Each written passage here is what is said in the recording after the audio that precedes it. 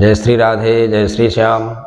DV Bharti समाचार channel पर आप सभी भक्तों का हार्दिक स्वागत है। मैं आचार्य राजेंद्र त्रिवेदी शास्त्री राजगढ़, झांसी। मेष राशि वालों को आपको आज के दिन किसी काम को लेकर के मानसिक तनाव, बेचैनी, बढ़ सकती है अथवा राजनीतिक क्षेत्र में लाभ के योग भी बन सकते हैं। दूसरी राशि है वृख। वृख राशि वालों को आपको आज के दिन स्वास्थ्य उतार चढ़ाव भरामय रह सकता है, शत्रु परास्त होंगे एवं कठिन परिश्रम करने से कोई सफलता हाथ लग सकती है।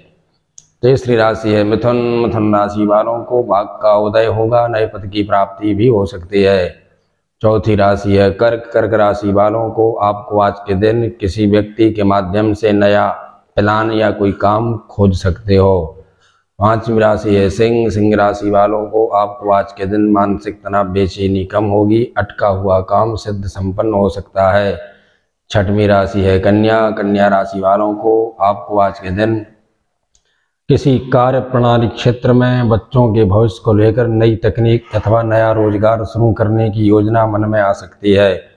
सातवीं राशि है तुला। तुला राशि वालों को आपको आज के दिन भाग का उदय हो सकता है, नए पद की प्राप्ति एवं कोई जमीनी जैसे मुद्दा को लेकर के आप काम प्रारंभ कर सकते हैं। आठवीं राशि है, वृश्चिक वृश्चिक राशि वालों को आपको आज भूमिगत द्रव्य लाभ प्राप्त एवं कृषि जैसे क्षेत्रों से लाभ प्राप्त होगा। नवम राशि, धनु धनु राशि वालों को भाग का उदय नए पद की प्राप्ति एवं स्थानांतरण जैसे योग बन रहे हैं।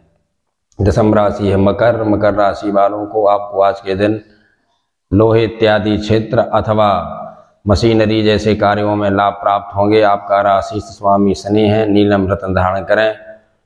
ग्यारहवीं राशि कुंभ कुंभ राशि वालों को आपको कपड़े एवं लोहे की व्यापार प्रारंभ कर सकते हो। लाभ प्राप्त होगा, सफलताएँ हाथ लगेंगी। बारहवीं राशि मीन मीन राशि वालों को भाग का उदय नए पद की प्राप्ति एवं मानसिक तनाव, बेचैनी कम हो सकती है। जय श्री राधे, जय श्री कृष्णा, जय माँ पीताम्बरा, जय माँ बिंदवासिनी